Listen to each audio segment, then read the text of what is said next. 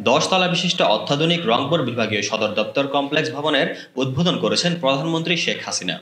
আজ সকালে গণভবন থেকে ভিডিও কনফারেন্সের মাধ্যমে কমপ্লেক্স ভবনটির উদ্বোধন করেন তিনি। রংপুর বিভাগীয় সদর দপ্তর কমপ্লেক্সের মাল্টিপারপাস হলে উদ্বোধন অনুষ্ঠানের আয়োজন করা হয়।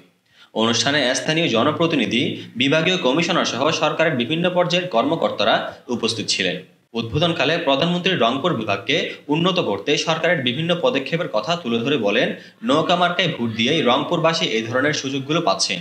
সেটা ভুললে চলবে না।